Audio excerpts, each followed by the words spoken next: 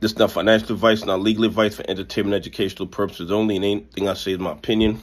Please don't make any financial decision based on anything I say in these videos. That being said, hit the like button, subscribe button, all that YouTube algorithm stuff so you get the videos I put them out. See what I'm thinking, see I'm analyzing that data.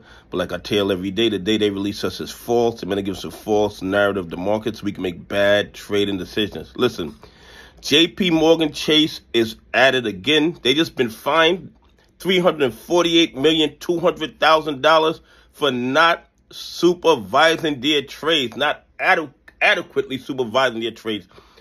The OCC says that the business model that was in place at JP Morgan Chase allowed their traders and their clients to engage in billions, billions would it be, of trades that could have been questionable. And you know there's a lot of longs being reported, shorts being reported as longs, a whole bunch of other shenanigans going on.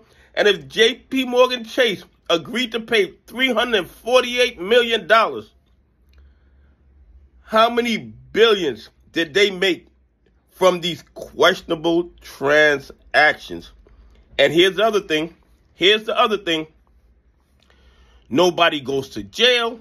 Nobody loses their license to trade.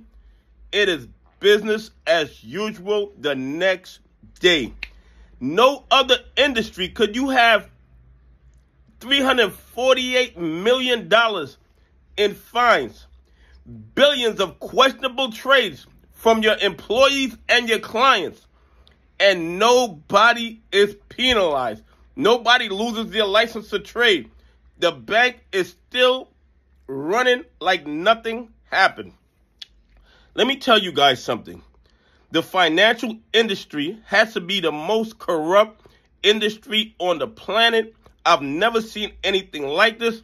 I did not know this level of fraud and corruption existed. It is really shocking to me. Shocking. Would you guys believe that since 2000, JP Morgan Chase has been fined $39.34 billion for violating the law. If you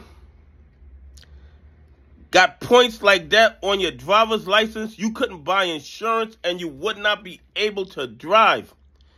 If a lawyer did that, if a doctor did that, any if an accountant did that in any other regular regulated agency, if you engage in this level of malfeasance, $39 billion in fines. There is no way you would still have your license to trade. There's no way you would still have your banking license. But somehow, JP Morgan Chase is still in business. And you know why? Because they donate to the right politicians. Anyway, please leave some comments. Tell me what you think. Do you think that in any other industry, somebody could have $39.34 billion in fines and still licensed to operate in that industry. Anyway, have a great day. God bless. I appreciate y'all on this journey with me.